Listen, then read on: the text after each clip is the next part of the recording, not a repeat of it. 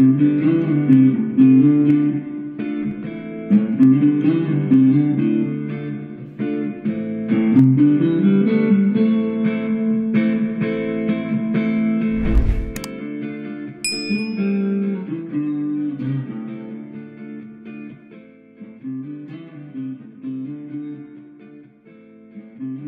dobry Państwu, testerki szczęścia. E, Druga część audycji o stereotypach o gejach. Z tej strony Beksalala. Z tej strony Kaprylda. No i I z trzeciej strony Marko. nasz specjalista. Specjalista. Tak. Od Więc- seksu, tak? Te stereotypy nas wykończą. Stereotypy nas wykończą. Proszę bardzo, taki stereotyp. E, Każdy homo leci tylko na tyłki heteryków. Tak, tak, to prawda. Jak tylko widzę męski tyłek, po prostu ręce mi świeżbią. No, nie mogę się powstrzymać. Dlatego mam takie chody w pracy, bo tutaj jest większość facetów, także no, mhm, tak. Hmm. Jeszcze może na, nazywają cię patelnią, bo tak obracasz dobrze, sorry. Słuchajcie, to ma być poważna To ma być audycja. poważna audycja. O łamaniu stereotypów. Ale To z Lucyfera było, jest- nie mogłam się powstrzymać. Lucyfer Morningstar Czy też niedźwiedziłaś tutaj?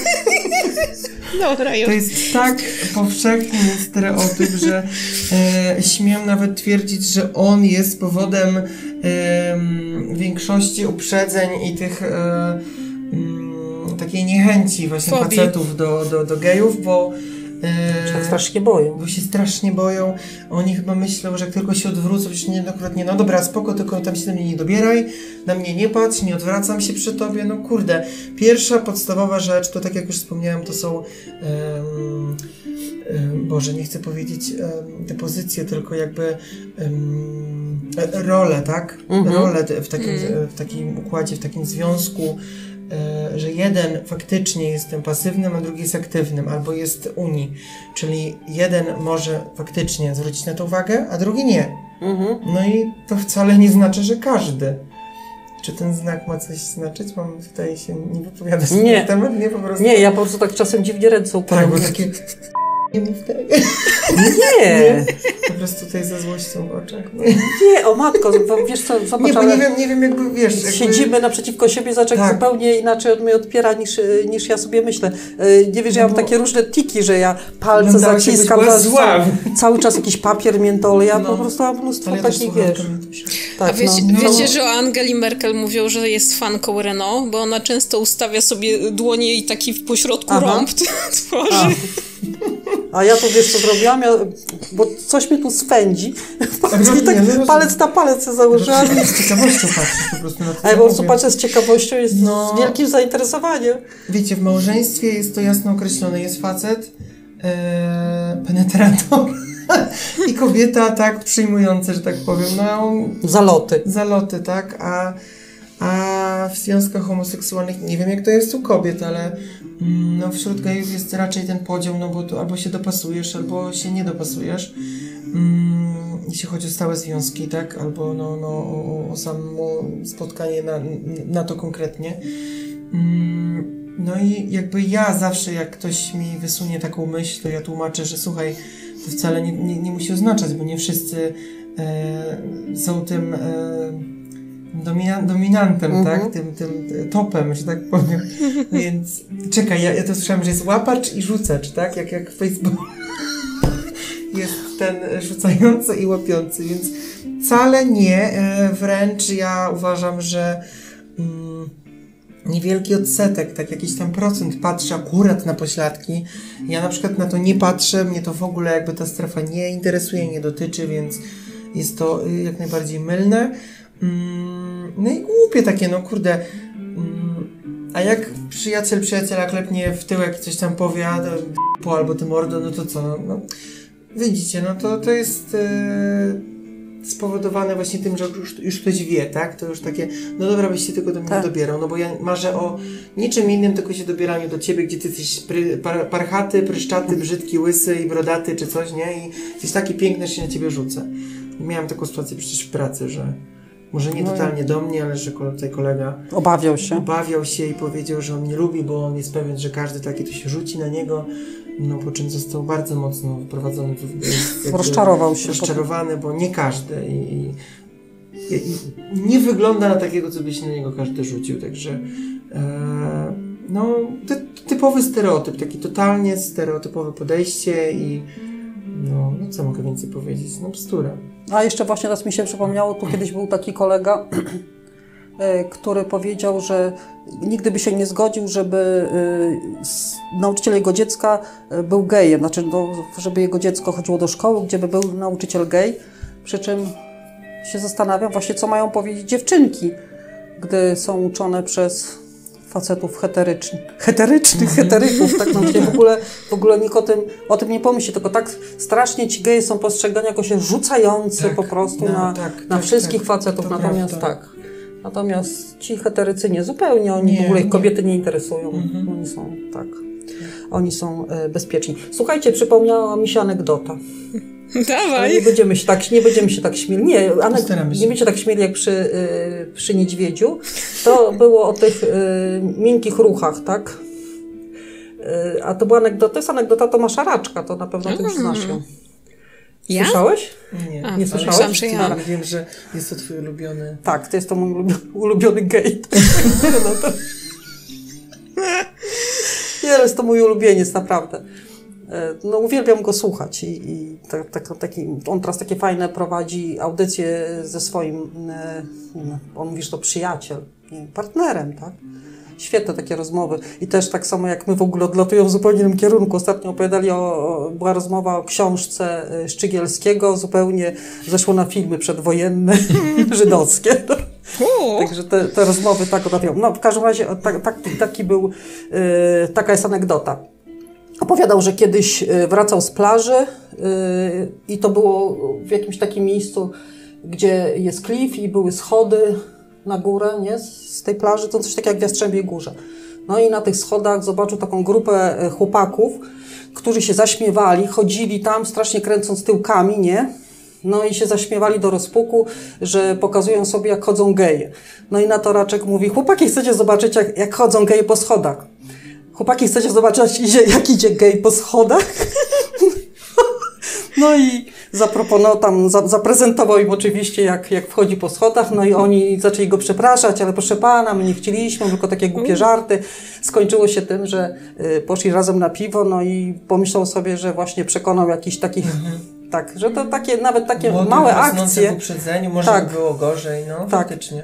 że, że nawet takie małe akcje, takie, takie anegdoty, które są przy tym, nie, że też mają takie y, no, no dobre znaczenie.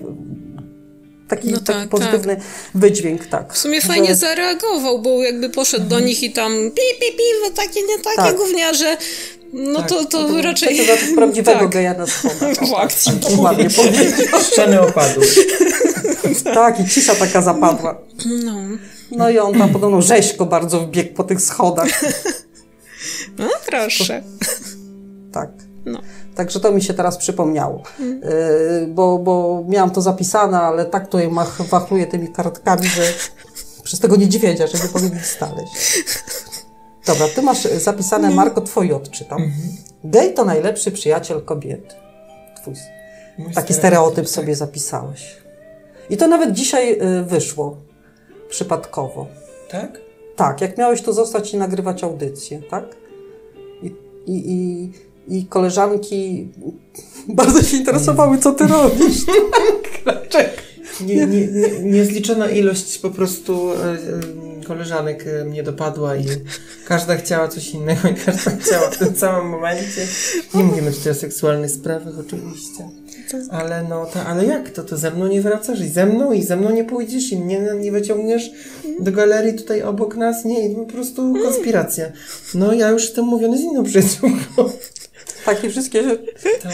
tak, wszystkie były zazdrosne po prostu. Powiem tak.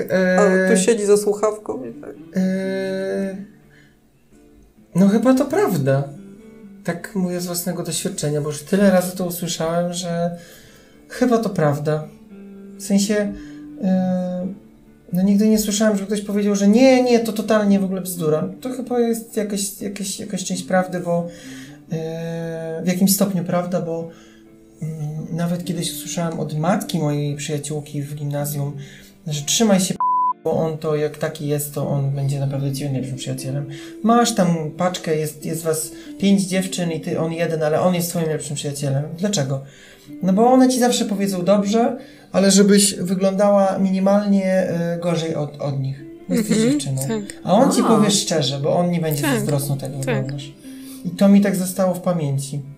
Że możesz sobie kupić jakiś fajny ciuch, tak? Możesz kupić fajny i on ci powie, czy wyglądasz za Można brać na zakupy. A koleżanka ci powie, że No. wyglądasz rewelacyjnie. A, wygląda gorzej ode mnie. Może nie każda, nie? Nie mówię, że tam one były zawistne, ale to też były moje wtedy przyjaciółki. Ale jest ryzyko. Jest zawsze ryzyko, no i Tak. jednak jakaś tam konkurencja między dziewczynami jest, także e, wydaje mi się, że to, to jest jednak prawda. No nie wiem, mam... E, ja wychodzę z założenia, że nie liczy się ilość, a jakość. Kiedyś miałem paczkę, później miałem inną paczkę i pojedyncze przyjaźnie. W tym momencie mam jedną taką najlepszą przyjaciółkę, mm, najdłuższą znajomość po prostu e, z tą osobą, e, jak dotychczas e, mam. To jest e, jeszcze znajomość z technikum. E, No jesteśmy w dwóch różnych miastach, troszkę nas dzieli kilometrów, nie widujemy się na co dzień. Nie rozmawiamy na co dzień, tylko raczej tak raz na tydzień, dwa, jak coś się wydarzy, no bo mm, no żeby tak nie gadać o Marynie. I jakby ilekroć się widzimy, flaszka musi być zrobiona i nic się między nami nie zmienia i, i e, no jest to taka relacja, że mm, fajne jest to, że obecnie już mąż e, myśli, że wie więcej niż wiem ja. A to A nieprawda. tak nie ma, to jest totalnie nieprawda. No i niech tak będzie, no, niech tak, niech tak zostanie, ale i to jest fajne, bo ja mam, e, ja du- lubię gadać, mi, mi się język rozwiązuje, ale są pewne rzeczy, których się po prostu nie zdradza, mm, po to się ma przyjaciół, a poza tym ja wychodzę z założenia, że e, przyja- przyjaciel jest ważniejszy niż nawet e, mm, osoba, z którą się jest, bo z kim byśmy obrabiali po tej osobie? o kim byś, z kim byśmy plotkowali, tak jak mamy problemy w domu na przykład. Mhm. Trzeba czasami wyrzucić z siebie te rzeczy i yy, no ja się przyjaźnię, przyjaźniłem zawsze tylko z dziewczynami, także no, miałem tam może jednego czy dwóch przyjacielów, przyjacieli? Przyja... Przyjaciel... no, Okej. Facetów Fac- przyjaciół. przyjaciół, ale to byli właśnie albo y, w paczce, albo nie wiem, no chłopak tak, przyjaciółki, gdzie to z czasem się tak rozwinęło. E, ale no, no zawsze z dziewczynami jakoś łatwość i z matkami przyjaciółek to już też po prostu na ty nie, niejednokrotnie e, brudzia i w ogóle, no to ja mam po prostu łatwość nawiązywania kontaktu e, ze starszymi od siebie kobietami. jakoś tak, tak O. mam. Także ja, bo ja, dla mnie to w ogóle nie jest problem. Jak mi ktoś powie, nie wiem, ma 70 lat, mów do mnie po imieniu, ja mówię po imieniu. Mhm. A wszyscy, miałem tak w pracy na przykład poprzedniej, jak byłem jeszcze kelnerem, to mieliśmy e, na zmywaku taką starszą panią pod 70 i wszyscy e, mówcie do mnie po imieniu. I ty i mówię, że ciebie k***a, szanuję, bo ty jeden powiedziałem ci, mów do mnie Baśka i mówisz do mnie Baśka, a wszyscy pani Basiu. Mhm. I ciebie jednego lubię, bo ty, nie, nie, ja się czuję przy tobie lepiej, młodsza, No fajna. młodsza, nie tak właśnie, tak. i potrafiła rzucić k***ą i talerzem i ja nie szanowałem. To była moja pani Magda Gessler. A wszyscy mieli kołki w d***ach, ja po prostu nie lubię czegoś takiego, więc to potwierdzam. E, nie wiem, jak, jak tutaj nasi czytelnicy, e, słuchacze mm, e, się po, wypowiedzą, może ktoś ma taką, taką, taką znajomość, ale ja z doświadczenia mogę powiedzieć, że chyba to jest prawda. Bo nigdy nie usłyszałem, że wiesz co, z tobą się przyjaźniłam i dobrze, że, nie, że już nie przyjaźnię, bo wszystko to zniweczyłeś, bo jesteś gorszy niż taki normalny przyjaciel. Nie, raczej drugą stronę. Że Boże, ja mam szczęście, zawsze chciałam mieć przyjaciela geja i ty jesteś, także usłyszałem to już parę razy.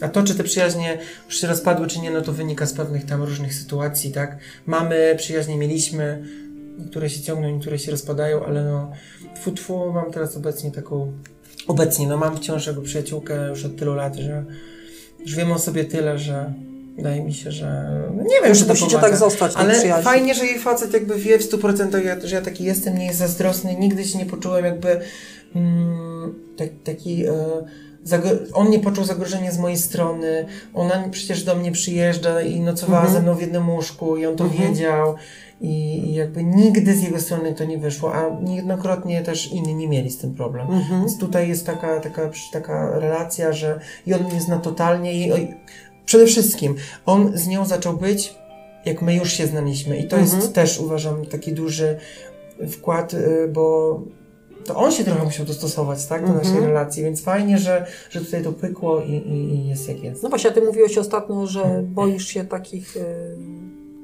no, no, facetów, heteryków jakichś, tak, y, w takich układów, a tu chyba jest on przyjaźnie nastawiony, że nie wszyscy są tacy nastawieni.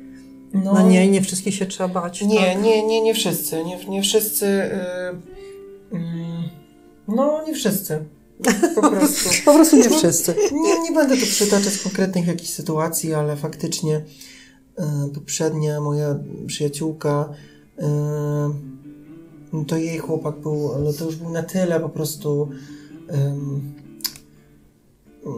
uzależniony od niej, że jakby mógł, to by ją w ogóle sobie wciągnął nosem, że tak Mhm. powiem i mimo, że mnie totalnie akceptował, rozumiał, akceptował, no to był mój przyjaciel, Mhm. totalnie jakby wiedział, do momentu, kiedy nie przychodziła sytuacja, że ona chciała mnie zostać na noc, na przykład. Mhm. Zawsze miał z tym problem. Więc totalnie wiedział, mojego faceta też uwielbiał, z nim się przyjaźnił, mimo to nigdy nie mógł tej jednej, jakby, były dla niego pewne rzeczy, których on po prostu nie mógł zdzierżyć i no, no to było to takie chore, no, takie, no, takie głupie, niezrozumiałe i ona też się z tego śmiała i nie Coś- wiem, takie, Coś takie, jak Caprelda opowiadała, że a jak tak? Jak to było? że, on na, że ona mi nawróci, tak, no. Że nawróci. Były takie, takie, takie pewne tutaj.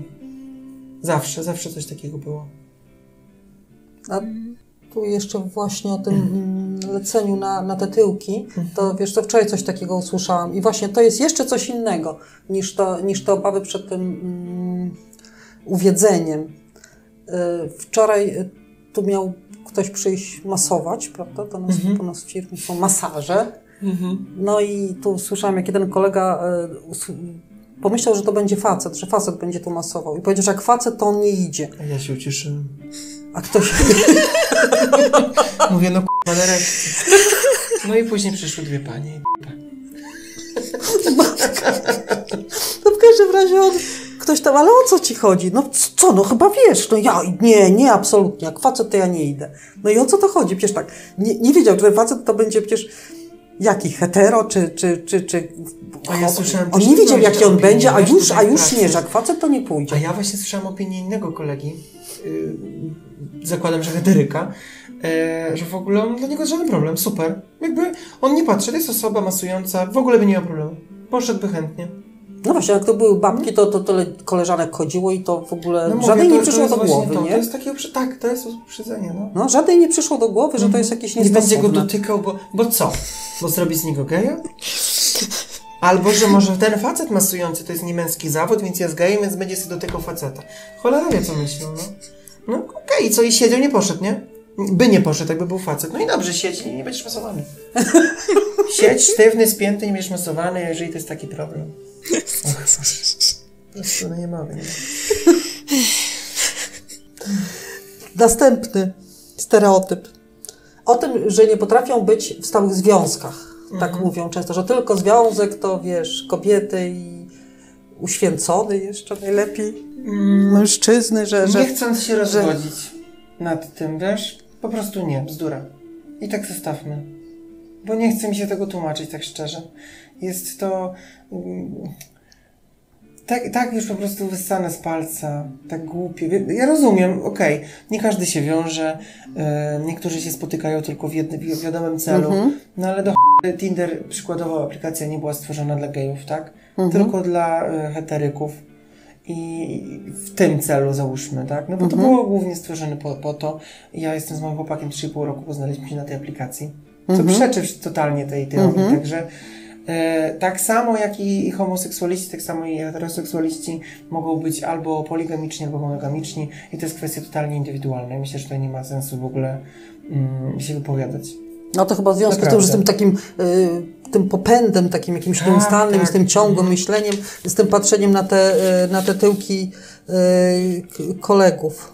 Myślę, że ja też jak tutaj opowiadam, to, to słuchacze zauważyli, że ja już to powtarzałem, ja chciałem znaleźć osobę jedną dla siebie. Więc e, to już przeczę tej teorii, no bo no dobra, ja jeden, ale no raczej słyszę, że no ja znam taką parę, no to no dobra, może być związek krótki, długi, ale no tak dziewczyna z chłopakiem się rozejdzie po tygodniu, bo jednak tam w łóżku nie wyszło, tak, bo już po tygodniu, no to co? To już znaczy, że większość tak robi? No indywidualna totalnie sprawa. Myślę, że nie ma sensu się tu e, dłużej ro- roz, rozwodzić na ten, nad tym. I to jest ciekawe, to jest właśnie y, dla mnie hmm, o tym, że orientacja to wina rodziców, bo źle wychowali. No, to też się spotkałem. Ta, no, to Tak, był- ja się z tym często spotykam, że to jest moja wina. Tu To- nawet Caprylda widziała, tak? Wpisy, że Tak. życzono mi śmierci. Że to już. No. Ech, jak sobie przypomnę. No. Wiecie co, ale tutaj chyba mm, z tego, co tutaj z... Mo- Pepsi mogę na chwilę co, się wypowiedzieć właśnie, co, co, co, co mnie... Wypipam to sobie później. Co mnie w u tych... Czemu? Tak, yy, u, u tych, tych Polaków, bo to z Polakiem żeśmy wtedy, znaczy to Bexi wtedy rozmawiała. Mhm. Tak, to I ja, ja chcia, chciałam się kulturalnie w pewnym momencie włączyć do rozmowy i do tego d- pisze, że Nie, ja... Tak, że, y, że ja nie mogę patrzeć po prostu jak moja przyjaciółka cierpi, a ten odpisał, to nie patrz, że kurde bym, go, nie wiem, wyrwałabym mu z korzeniami i pewną Ja część tylko tam- ciała. Dobra. Tak, no. Aż, aż się zdenerwowałam jeszcze- teraz, no. I, co, no. y, i, było, No. no, I było jeszcze Dobra, tam... sorry. No ciekawe jak... Mm. Y, ciekawe, y, a co z wnukami? Mm. I takie, nie? Takie... Y, jak, ci, jak, jak ci twój synek urodzi? Także y, rodzice też cierpią. I, i I o właśnie tym nie są... mówią. Ty mówisz, ale no nie mówią. No właśnie, to właśnie to miało być mamę, która będzie słuchała tej o stereotypach. Ale y, nie wszyscy mają, wiesz, tak, odwagę, może też chęć. Nie mówię, że moja mama nie ma odwagi, jest bardzo odważna, ale nie mówi się o tym, co oni czują. Więc ja zawsze chciałam spotkać tą stronę ym, rodzica. Jak, jak to jest? My się boimy, ja się boję o siebie, czasami się, wiesz, mam takie przyzwyczajenie, się odwracam, boję się, kto ze mną idzie, czy mnie nie zaatakuje. Ym, gdzieś jadę, nie mówię mamie, żeby się nie denerwowała. A co ona czuje? Co, co czuje matka? Kiedy pogodziła się z sytuacją, jaką, jaką ma, tak? Ale to nie jest. trzeba się godzić, to sytuacja po prostu... Nie no, umówmy się, że jest w tym, w tym przypadku musisz, dlatego że gdyby był heteroseksualny, to by ci tego nie mówił. To jest naturalne. A tutaj jest sytuacja inna niż e, ogólnie przyjęta, więc po, ty się pogodziłaś. I Jest jak jest i ja będę walczyć za to moje dziecko, bo się pogodziłam, bo takie jest i nie pozwolę, żeby ktoś tego nie zrozumiał. I jak to jest em, bać się o to dziecko? Ja w ogóle jestem osobą znerwicowaną, czego pewnie tu w pracy może nie widzisz tak, bo widzisz mnie jako jakąś odważną i przebojową. Twardą. Ja jestem osobą, y, która cierpi na nerwicę lękową i y, dopóki mój syn nie wróci do domu, to ja do tej pory nie śpię. Także ostatnio spotkałam, mm, znaczy właśnie to się tak przypadkowo okazało, że moja koleżanka, y, właśnie to koleżanka mojego męża cierpi również na to samo, także ona mnie świetnie rozumie i y, wie o co chodzi. Dlatego, że ja mieszkam ze swoim synem, to cierpię bardzo, bo wiem, że gdy wyjadę, to nie wiem, że on wyszedł, tak, to nawet się nie dowiaduję, nawet nie dzwonię, nie chcę wiedzieć, czy on wyszedł, żeby, żeby się nie zamartwiać, o, o której on wróci do domu.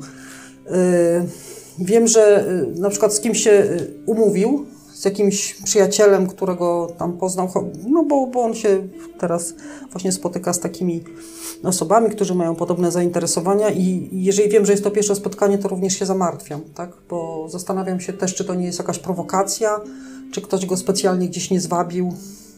Chociaż wiem, że przecież jest dorosły, tak? I, i, i rozsądny, a, a też się To już tak w taką spiralę strachu się tak, też wpędziłaś. jestem, jestem, Mhm. żyję w totalnej spirali strachu od lat. I teraz powiem o co chodzi, gdy się dowiedziałam, yy, to, to był... A może w ogóle byśmy taką audycję zrobili? Tak, zrobimy. Bo to jest głębszy Tak, temat. Tak, tak, samo to jak jest- tutaj o Tak. em, w ogóle o, bo weź mi przypomnieć, pytanie. O stereotypach? O stero... Nie, nie, nie, o tym, o tym, Y, O tym, że orientacja to wina rodziców, bo tak, źle wychowali. Ja bym chciał w ogóle o tym zrobić oddzielną audycję, o tym po, po podejściu rodzica, e, bo, bo też to usłyszałem. E, no, no okej, usłyszałem to nawet od mamy wtedy w tym takim mm, gniewie spowodowanym taką nagłą informacją, taką w ogóle z dupy, bo tam nie było żadnej przesłanki, żeby w ogóle była taka rozmowa. Mhm. Ja po prostu nagle sobie zdałem sprawę, że mamy dwa dni dla siebie, bo jeszcze nie będzie brata i, i ojca w domu i to jest teraz albo nigdy. Po prostu mnie to ukłuło i powiedziałem tak, tak z marszu, więc Mhm. ona w tym jakby takim szoku powiedziała, że wszystko ci daliśmy, tak? Jak, ja, tak, nie tak cię wychowałam, jakby jak mogłeś, nie? Coś takiego. To było takie, takie wyrzu, wy, wyrzuciła jakby z siebie takie słowa. To nie, myślę, że ona tego nie myślała, tylko tak wyrzuciła i, i też jestem ciekaw, chciałbym zrobić o tym właśnie audycję. To zrobimy o tym audycję, teraz tak przelecimy po łebkach, ja Ci powiem w każdym No, razie, że gdybym ja tak się odezwała do mojego syna, gdybym ja tak powiedziała do mojego syna, to bym już go nigdy w życiu nie zobaczyła. Mm. Gdybym tak powiedziała. To jestem pewna. Y, A y, tu to absolutnie jak wszystko akceptuje matka. Matka jest od tego, żeby wszystko akceptować i żeby kochać i niczego więcej nie trzeba, tylko miłości. Ale y, jedyne, co mnie zmartwiło, to to dziecko, kiedy będziesz miał ciężkie życie, tak? Ludzie. Mhm. Tylko to, y, tylko to mnie martwi, ludzie wokół. I, I to, że moje dziecko jest. Matko, zaraz będę płakać. No właśnie, No ale ja taka jestem, Kaprylda wie o tym, że ja po prostu ryczę. y, Bardzo Wiem, to- jestem emocjonalna i, i łatwo Tak, się tak. y, wzruszam. To też mnie tu Marko takiego, takiej nie zna. Y, Nie, to ja już, ja już tak wiem już jak pocieszać. Ona już wie, jak mnie pocieszać. Tak. Najlepiej dobrze, dobrze, tak, tak, absolutnie. Co absolutnie nie, nie, nie, żadnych pocieszających takich tekstów, że a, tam coś, tam coś, tam tylko słuchać cierpliwie, tak. W każdym razie nie tylko. Ale- ale to, daje radę? Tylko dlatego płakałam, tak, tylko dlatego płakałam po nocach i do tej pory płaczę. Dlaczego ludzie mu zgotowali taki los?